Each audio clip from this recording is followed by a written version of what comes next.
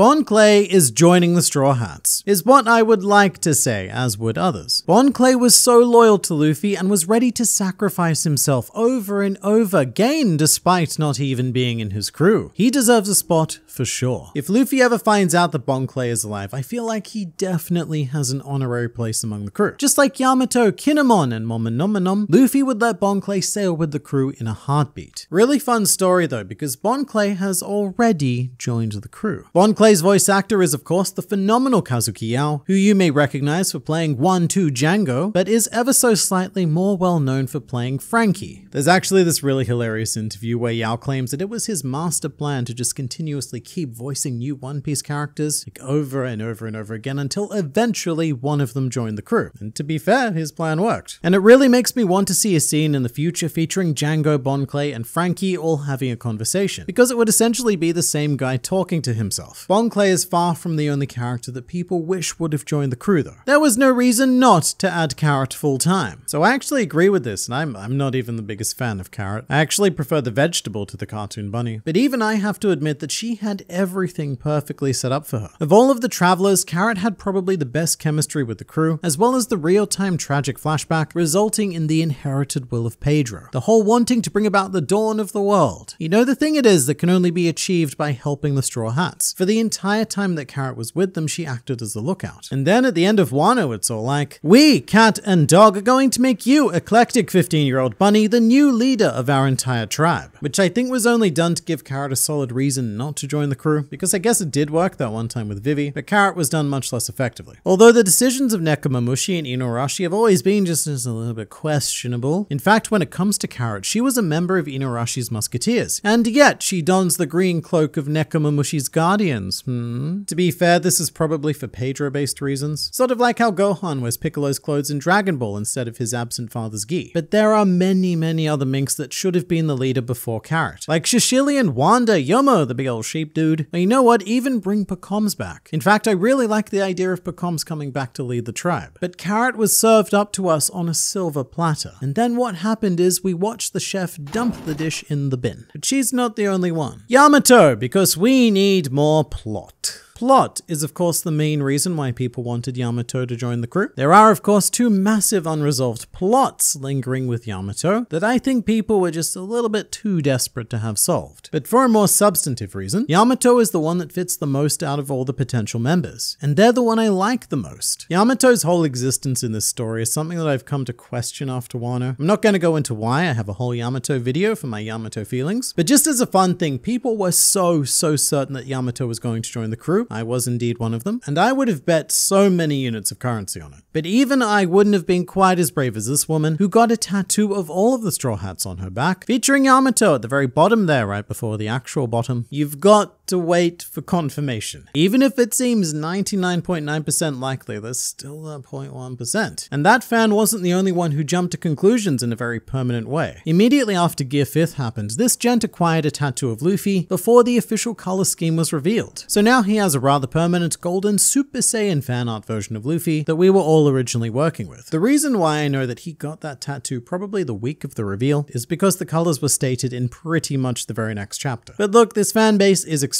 passionate and a bit overly enthusiastic, if anything. The zombie horse and tree would have been great additions. I unironically agree with this. Zombie tree and zombie unicorn are some of my all-time favorite tertiary characters. And Luffy, he did ask them to join, so it was well and truly on the table. They also have real names, by the way. Zombie unicorn is Unigaro, whilst our tree friend's name is Mockadonald, which is a bit of a dual language portmanteau taking the name McDonald and then violently fusing it with the Japanese word for tree being Moku. So it becomes Moku Donarudo. And I know it seems absurd, but just think. If this did actually happen, then it means that Oda would have given them tragic backstories and even dreams of their own. Tree dreams! As if you don't want to know what trees dream about. Perhaps McDonald grew up in a poor forest where he was constantly looked down upon by all of the other elder trees, primarily because they were taller than him and that was the only direction they could look at him. Meanwhile, Unigaro always held a dream of getting into craft brewing. However, due to the fact that he was a horse, well, that heavily hindered the idea. But hence why he and McDonald are always drinking together. Oda would have have, and in my opinion, should have made it work. In retrospect, McDonald actually reminds me a lot of Green Bull. Their aesthetic similarities are so undeniable that they may as well be blood related. But I'd also like to bring some awareness to the issue of spelling on the internet, because a lot of people wanted Zombie Tree and Zombie Unicorn on the crew, and I understand that. But Captain Buggy here went in a different direction, and instead of a zombie horse, he wanted a zombie horse.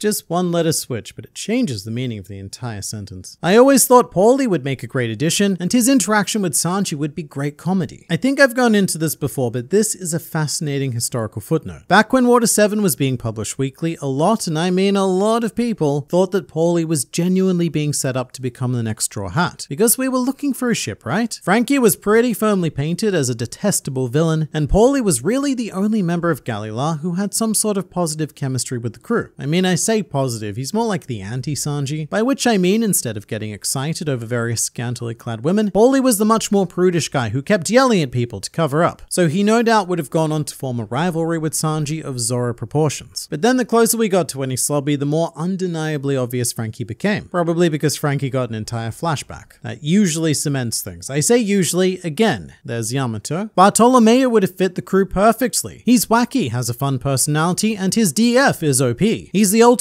support, not to mention a combo attack with Luffy's Gum Gum pistol, and his barrier barrier would have been awesome. I think the only way Bartolomeo fits in with this crew is through his own fanfiction. Because as it is, Bartolomeo is, he's kind of fanficky. Because he's essentially Oda inserting all of us into the story. So I suppose in a way he's already a member of the crew, because we all get to observe the adventures of the Straw Hats as if we're there with them. And I think that with Barto specifically, his quirk might get a little bit old if we're always watching him fanboying whenever anyone does anything. What I really want more of though are his homage attacks. The moment I became a lifelong Bartolomeo fan was when he used God's Fist. And I need to see his homages to the rest of the Straw Hats. Like say, does he create a thin barrier to replicate Zoro's swords, or even coat his foot in some sort of barrier ball to imitate Sanji? And you know, come to think of it, I, I really miss the Grand Fleet. It's been over 350 chapters since they formed. That, that was like 10 years ago. I will always say Gangsta Gastino. You and me both, because that sounds like a solid recipe for comedy. Just this ongoing gag of Luffy having someone aboard the ship who he absolutely hates, but never realizes that it's Caesar. And Caesar has to try and keep up the act despite everyone else knowing who he is. Like how everyone knows that Sogeking is Usopp except for Luffy and Chopper. And actually thinking about it, imagine if Luffy asked Sogeking to join the crew. We would have a similar situation where Usopp has to frantically pretend to be Sogeking, and every time Sogeking goes around a corner or something, Usopp magically appears and does the classic, whoa, what did I miss, guys? I know this will never happen, but I would love for a villain to somehow join the crew. Not a false villain like Robin who started out being all bad but was actually all good and only doing the bad things for the greater good, but I mean like a proper antagonist. Like Caesar or Caribou. In fact, Caribou is, well, he's almost there. Because what I want is a villain who may not necessarily be a crew member, but keeps ending up sailing with and getting caught up in the same adventures, to the point where he's around the Straw Hat so often that the world government officially labels them as a Straw Hat, and even gives them a bounty, much to the crew's great annoyance. And all the while that villain is trying to undermine the Straw Hats, but generally ends up helping. But I think it's probably too late for something like that. I think that Caribou is, is the best we have. Bellamy! During all the Dressrosa crewmate discussions, I was really hoping it'd be him. You know, actually speaking of, this would have been a fantastic way for a villain to join the crew. I did a whole video on Helmeppo's evolution as a character and why he's legitimately one of my favorites, but someone equally, if not even more worthy of that kind of examination is Bellamy. Because I'm just gonna put this out there, Bellamy has had more character growth than any Straw Hat. And I think that most redemptive villains have. Because the Straw Hats are mostly archetypes that exist to punch things and change those around them. I love how Bellamy begins as the most detestable creature Oda is capable of conjuring at the time, and in fact, he is the exact opposite of the ideals presented by Luffy. And not only do we get the satisfaction of seeing him smacked, we also then go on to get smacked by him taking that experience and growing in a positive way. So that by the time he gets smacked again on Dressrosa, we now feel a completely different emotion towards that same act. Bellamy is so good. Clear S tier character. Do it, just make him a Straw Hat. Itomimizu would have been great as the lookout out in the crow's nest of the ship. All right, that, that, that was unexpected. But if you don't remember, Ito Mimizu was the announcer of the Davy Back fight, and taking that into consideration, he was once a legal candidate to become a crew member. Luffy could have picked any one of the Foxy pirates to become a Straw Hat. And hey, you know, look, if we're not gonna go with Carrot, then I do agree that Ito Mimizu would have made an amazing lookout. And he could also act as the hype man for the crew, just announcing them wherever they go. Also, fun fact, Ito Mimizu means Tubifex worm, which gives some much needed context to his rather worm-inspired character design. The only valid pick is Imu. I will noi be convinced otherwise. Very interesting use of the word valid happening there. But instead of Imu, I'm going to go with this commenter's name, which is conveniently Marco. Because Marco got brought up a lot. You guys really want Marco to join the crew. To which I say just let the poor Birdman retire. Although it would be pretty awesome to throw a former Emperor commander onto the crew in order to complement the warlord that Luffy stole. And thinking about it, Marco would be a pretty great lookout as well, what with the whole being a bird thing. But then again, the dude has options. I mean, he could have joined Shanks if he wanted to. So of everyone we've spoken about so far, I think that Marco is actually the most unrealistic dream. Yes, even more realistic than the zombies and the worm. Fujitora and Katakuri and Kuzan. They respect Luffy. Alright, that's, that's a lot of heavy hitters to cover in one go. But Fujitora has always struck me more as the kind of guy who would join the Revolutionary Army. He's just so thoroughly anti-establishment, and the Straw Hats don't really care about changing the world. It's more that they're going to do it incidentally whilst fulfilling their own selfish desires. Meanwhile, Kuzan did actually take that ever so naughty step and become a filthsome pirate, but it's quite clear that his taste is more in the cherry pie direction. And Katakuri,